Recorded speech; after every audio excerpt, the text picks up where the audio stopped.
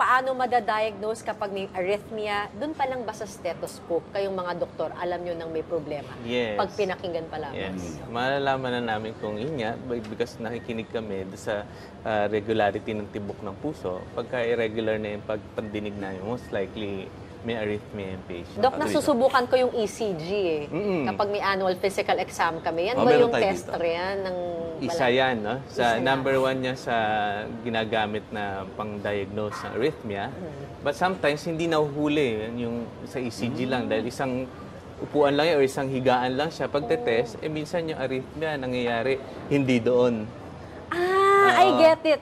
Kasi sample lang ng... Sample lang siya ng isang isang strip, no? That's why I was asking you kanina, ano yung interval? Gaano kahaba dapat nung dun? Nakababad ka para nakababad makita. dun. Sa oras dapat, na nakababad ka dun. Malalaman na natin yung pattern mo kung may arrhythmia ka. Kung i-admit siya sa hospital, pwede natin malaman na nakakabit. Pero pwede rin naman outpatient kung hindi naman tingin namin na fatal yung magiging arrhythmia niya. Yeah.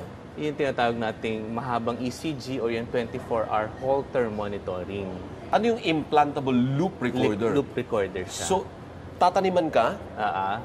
Tapos Sa- sa mga isang buwan sa ilalim dito lang sa Sa ilalim ng alin? ng Bala? skin. Ah, ipapasok sa skin. Papasok sa skin. So, hihiwain yung skin, ipapasok sa Ah, ganun. konti maliit lang naman yan. Yung common, Common? na ginagamit talaga to diagnose the arrhythmia sa 24-hour Holter monitoring. Ano naman yan? Yung 24 hours na ECG kakabit sa'yo, para siyang meron kang ah, iPod, no? Or yung dating tinatawag nating Walkman na maliit, na, yung mga 80s. no? So, ikakabit siya. Parang ganit, ah, parang kung ano rin yung sa mic natin, no? Ilalagay mo sa bulsa or nakasling sa'yo. Okay. Eh, ika, yun yung For how many 24 hours? hours yun. Outpatient. Outpatient yan. Uwi mo siya, you can eh, you can do whatever you you are regularly doing. Stress test. Yung stress test din, pwede rin siya na baka ang arrhythmia mo is induced by stress. I see. Ah, so makikita agad doon no, within 15 minutes na, na during nag-exercise ka or less, no, makikita mo doon kung merong arrhythmia. Kapag mabagal ang tibok, Dok, anong gagawin mo? Halimbawa, you were May diagnosed, problema. may arrhythmia ka, pero opposite naman, yung mabagal naman. titingnan mo muna kung baka may abnormality sa electrolytes, no, sa mga potassium mo, magnesium, calcium, sodium. Yun yung may check by blood test. No? Tapos i-check mo by Holter again, ng ECG. And then if wala na, ah, kung merong mga reversible cause, i-correct mo siya. So, pwedeng gamot lang. Yes, pwede rin. Ah, doon sa oh. yeah, pwede kung ano yung depende sa cause, Oo. no? Tapos halimbawa may bara pala siya or heart attack, i-address mo yung heart attack, no?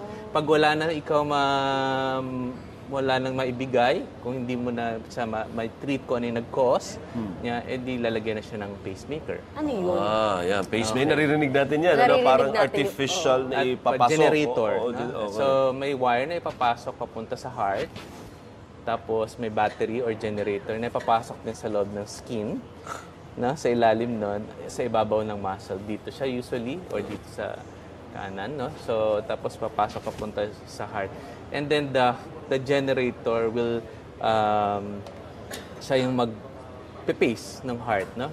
Kung anong setting. No? So, 60 beats per minute, lalagyan niya doon. Pagka bumagal masyado yung tibok ng puso, siya magsiset.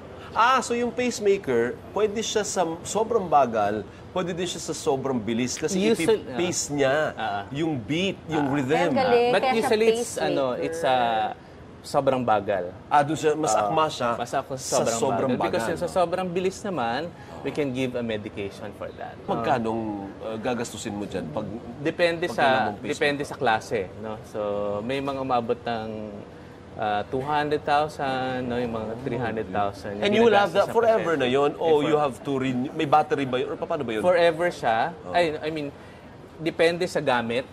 So every year, chine-check kung ilan na lang yung life ng battery mo. o may battery nga. Oo, generator Oh. siya.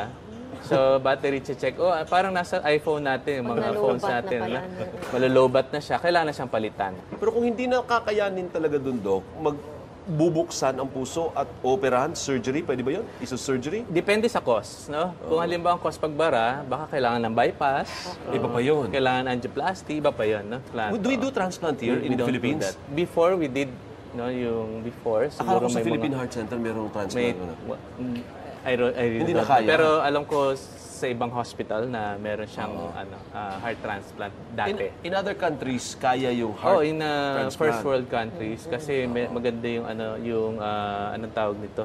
Ah, cadaver Ah, may yung- system Na sila. ambulansyo na eh. Ambulansya. Ninelicopter yung puso. Yes. Well, ganun pala. Tapos mag-aano bigla. Ang galing. Kasi kasi meron pong parang donor program naman sa Yes. kanila. Mm. Although sa atin, dinidevelop din natin yung ganyang klase ng programa. Kailangan kasi immediately, Immediately, oo. As in an hour after death nung Yes. na-aksidente? Yes. Yeah, or... Ganun, ganun siya. Dapat okay. nakapila yung mga pasyente for candidates for heart transplant and then pag uh, merong uh, unfortunate event, Okay. operahan nila tukunan na. Ma-amazing.